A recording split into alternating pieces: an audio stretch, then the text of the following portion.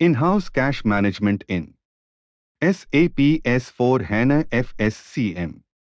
Financial supply chain management.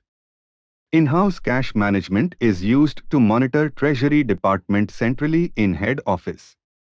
Instead of creating multiple bank accounts for all companies, we create bank account only for the parent company. All the payments and receipts are dealt through one central bank account only. It will increase control over the bank dealings centrally. SAP support this by using in-house cash management functionality. In this functionality one house bank will be created for the central head office. Other subsidiaries will create virtual house bank to manage their payments and receipts. Two main scenarios are covered in in-house cash management.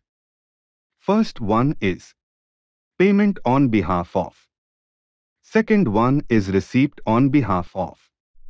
In payment on behalf of scenario parent company will pay on behalf of subsidiary. In receipt on behalf of scenario parent company will receipt on behalf of subsidiary.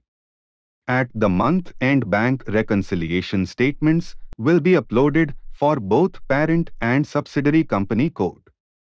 Thanks for watching this video. For more SAP content please subscribe this YouTube channel. Hassan Askari